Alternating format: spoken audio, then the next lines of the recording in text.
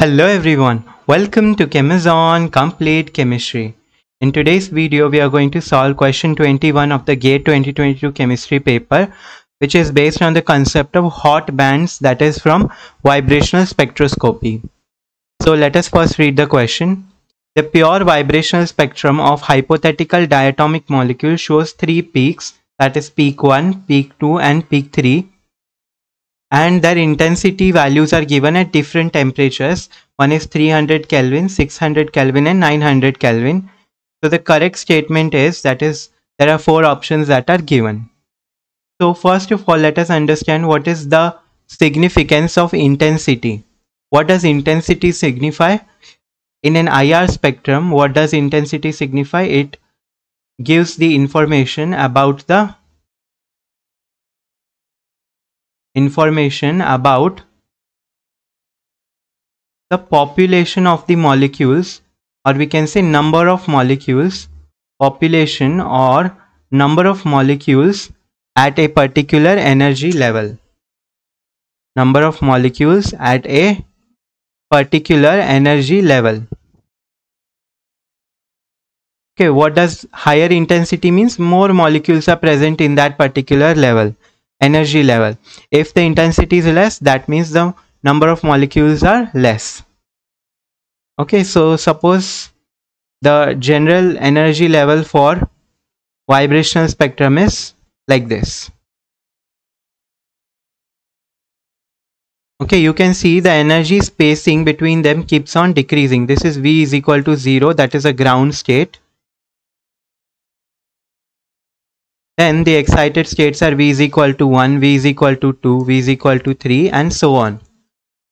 So what happens? Suppose there are 100 molecules of any diatomic molecule let's say x2 okay so there are 100 mo uh, 100 molecules of x2 and maximum most of the population will occupy the ground state. Why? Let's say 90 levels are present at v is equal to 0 90 molecules are present at v is equal to 0 why maximum number of molecules are present at the uh, at the ground state because this is of the lowest energy. Okay energy is lowest means it is more stable. Okay the molecules are more stable. That is why most of the population is found at V is equal to 0. So if I consider, okay, 90 molecules are here, let's say 8 molecules are at V is equal to 1. So if we see the transition from V is equal to 1 to V is equal to 2, this is very less significant. Okay, very less significant or we can say very less, very less intense very less intense. Okay, why? Because here very less number of molecules are present that can be excited from V is equal to 1 to V is equal to 2 level. Because most of the molecules occupy the ground state which is most stable. Now, what is the concept of hot bands is? What is a hot band? Hot bands are the electronic transitions from V is equal to 1 to V is equal to 2 when can we see hot bands? How to identify hot bands? When we increase the temperature, when we heat the sample, when we increase the temperature, what happens? The intensity of a hot band increases. Intensity of a hot band increases. okay what is the meaning of that initially you can see only eight molecules are present at v is equal to one energy level okay let us draw the initial scenario. As i have told you this is just for the explanation part. Here there are let's say 90 molecules that are present and at v is equal to 1 there are let's say 8 molecules. So only 8 molecules will be excited from v is equal to 1 to v is equal to 2 okay let's say this was for intensity 0.02 at 300 Kelvin. Now what will happen if I increase the temperature okay if I increase the temperature to let's say 600 Kelvin. So what will happen some of the molecules at V is equal to 0 will get excited and their energy will be close to V is equal to 1.